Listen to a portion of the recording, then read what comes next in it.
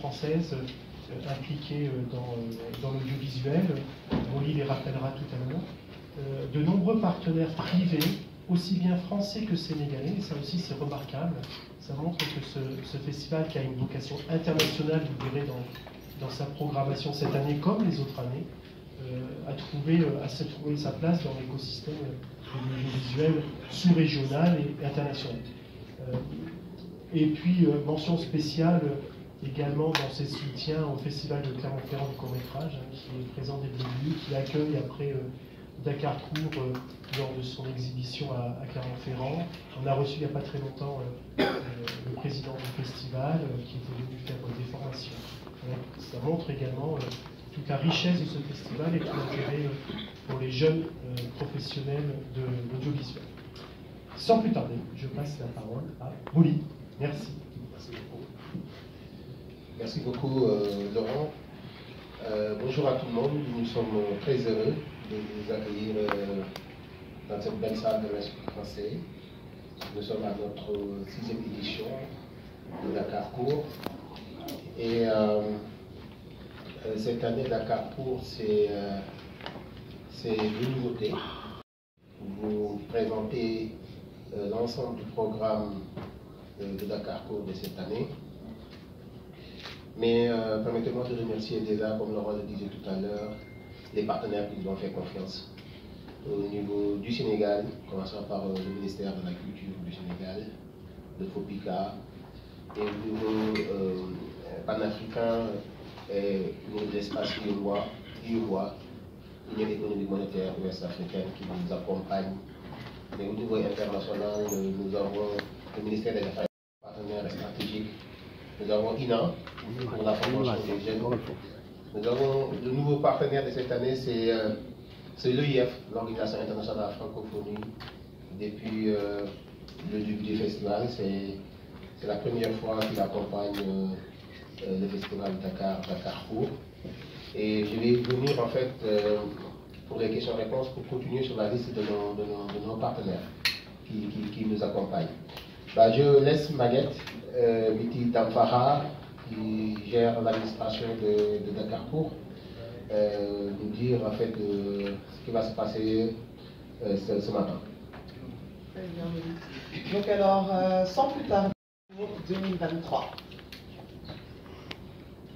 L'activité.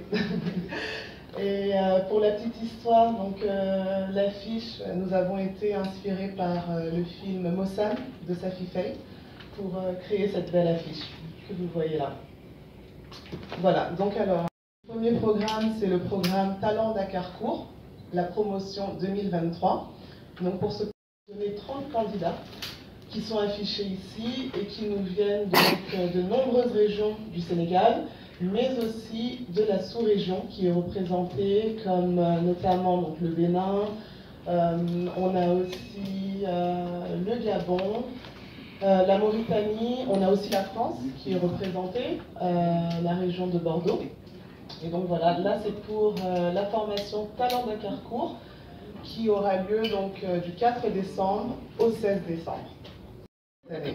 Donc suite à un nombre on va dire, euh, bien supérieure à l'année dernière de candidatures reçues, on a décidé d'augmenter euh, les participants. Et pour cela, cette année, on aura 32 participants au lieu de 30 l'année On a donc euh, le programme scénario qui est lié au prix grec France TV. Et donc pour ce programme, on a lancé un appel à candidature et quatre participants ont été sélectionnés et ont, euh, ont été en résidence d'écriture ici à l'Institut français au mois d'octobre. Donc voici la liste des quatre lauréats pour le concours prix grec France TV Tour 2023. Donc alors pour euh, ce prix, nous avons Cheikhouna Mbey pour son projet Almudo, euh, Komlan Armand Sossou pour son projet Abalo nous avons Adja Maria Mafal pour le Jola, et enfin, Ténégay pour un mouton à tout prix. Voilà, donc ça c'était pour euh, tout ce qui est programme de formation qui aura lieu cette année euh, pendant le festival Dakar Court. Ensuite, on va passer donc au film en compétition officielle. Donc alors on va vous diffuser ici par soirée de projection. Et cette année, on aura trois soirées de projection, contrairement à l'année dernière. Donc on aura une soirée de plus. Donc voici euh, dans quelques instants, voilà. Donc la première soirée de projection qui aura lieu donc le 12 décembre à l'Institut français au Théâtre de Verdure à partir de 20h. Nous vous invitons à venir nombreux. Donc pour cette première soirée, on aura le film Timis d'Awa Mokhtar Gay qui a été déjà récompensé à de nombreuses reprises. Euh, Cette lame de Vincent Fontano qui nous vient de la Réunion.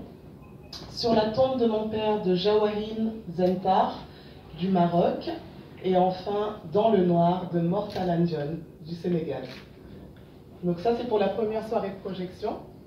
Ensuite la deuxième soirée de projection qui aura lieu donc le mercredi 13 décembre.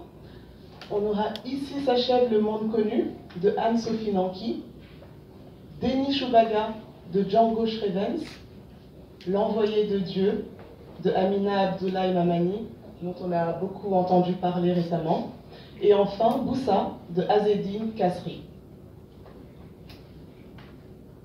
Et pour la troisième soirée de projection, donc le jeudi 14 décembre, on aura trois films. Donc Aminata de Djibril Juil, Langue maternelle de Mariam Diaye et Je te promets le paradis de Morad Mostafa. Voilà pour euh, les soirées de projection. Et on a une nouveauté euh, cette année pour la sixième édition du festival. Euh, donc en fait, c'est suite à aussi de nombreux films reçus. On a lancé l'appel à films du 24 février au 24 juillet dernier. Et on a reçu plus de 400 films, dont notamment pas mal qui nous venaient euh, d'écoles, euh, de centres de formation.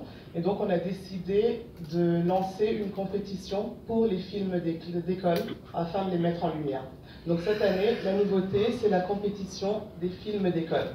Et pour euh, cette sélection, on aura donc cinq films qui seront projetés le 13 décembre à 16h ici même, dans la salle de cinéma de l'Institut français. Donc le premier film, c'est Yadikoun, Le Petit Prince, qui a été co-réalisé par euh, des membres du collectif Courtrajmé Dakar. Au pied du mur de Eboubier Yasmine Delia Ido, qui nous vient du Burkina Faso. Ce que femme veut, de Ousmane Sissoko, qui étudie à l'ESSAV euh, de Marrakech. Eri, de Kambou Eri Génie Magras, de Côte d'Ivoire et Ciré de Armando du Sénégal. Donc voici les cinq films qui seront projetés pour la compétition des films d'école cette année. Et je voulais ajouter que euh, cette compétition est euh, accompagnée et sponsorisée par l'Agence française de développement, AFD, qui est aujourd'hui un partenaire de Dakarcourt euh, pour accompagner la créativité des jeunes Sénégalais. nous les remercions de passage. Très bien. Donc à présent, nous allons passer au jury des différentes compétitions. Donc alors, euh, on a trois compétitions, euh, trois jurys, pardon. Et donc le premier jury qu'on va vous présenter, c'est le jury des films en compétition officielle et films d'école que je viens de mentionner. Donc alors, la obtenu en 2017 le César du meilleur court métrage pour son film Vers la tendresse ainsi que plusieurs prix et distinctions pour d'autres œuvres réalisées. Son premier long métrage de fiction, Saint-Omer, qui a reçu une dizaine d'autres prix dans de nombreux festivals internationaux, a été désigné pour représenter la France aux Oscars en 2022. Donc Alice Diop est la présidente du jury compétition officielle et films d'école pour 2023. Et son jury sera composé de, de Emma qui est une actrice et influenceuse avec de millions d'abonnés, et qui nous vient de la Côte d'Ivoire. Ouda El Amri, avec de multiples récompenses à son actif. Et enfin, le docteur Gorasek, titulaire d'un doctorat lettres option art du spectacle et qui est à présent le chef du département métiers des arts et de la culture à l'université Gaston Berger de Saint-Louis. Donc ça c'est pour le jury de la compétition officielle et des films d'école 2023.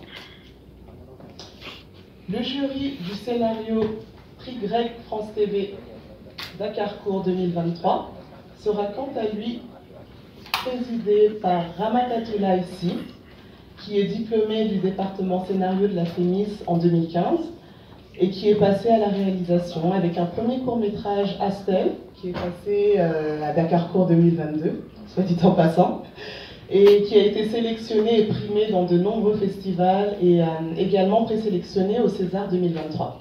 Cette année, Ramata revient avec un premier long métrage, Banel et Adama, tourné en langue peul et sélectionné en compétition officielle du dernier festival de Cannes. Nous avons avec elle, donc, euh, pour ce jury, Vidia Tambi, qui est conseillère culturelle du maire de Dakar et éditrice aux éditions Vive Voix. Anne Luto, déléguée générale du GREC, groupe d'essais et recherche cinématographique. Gauthier Réjou, conseiller au pôle court-métrage de France Télévisions. Et enfin, Hassan Fall, directeur et fondateur de Think Film, une société leader en Afrique de l'Ouest de la location de matériel destiné au plateau de tournage de cinéma. Voici pour ce jury. Ensuite, on aura le jury du prix de la meilleure production journalistique. Et donc, pour ce jury, Fatima Tawan sera la présidente. Fatima Tawan a rejoint à sa création en 2006 la rédaction de France 24, où elle exerce depuis plusieurs métiers, dont chef d'édition. En 2019, elle fonde en partenariat avec l'UNESCO, autour d'acteurs culturels de premier plan, Action Africa Culture 55, une initiative panafricaine dédiée à la promotion de la culture en Afrique. Aujourd'hui, elle présente le Journal de l'Afrique de France 24 tous les vendredis, ainsi que l'émission Planète Afro, dédiée à l'actualité culturelle africaine et caribéenne. Et son jury sera composé de Sonia Chamki, maîtresse de conférence à l'École supérieure de l'audiovisuel et du cinéma en Tunisie, et qui a été la directrice générale des journées cinématographiques de Carthage en 2022. Ensuite, on aura Big Bob, rédactrice en chef du journal Enquête et présidente. Docteur Nafisa Diouf, enseignante, chercheur à l'université numérique Cher Hamidou Khan, où elle est la responsable du master multimédia communication digitale. Elle est aussi la directrice générale de la société de télédiffusion du Sénégal. Et enfin, Pierre-Édouard Fay, rédacteur en chef de la chaîne de télévision Wolf TV, et qui anime depuis 2010 l'émission Opinion, la plus suivie du Sénégal au niveau des émissions politiques. Voilà, et ensuite, donc là, euh, c'est pour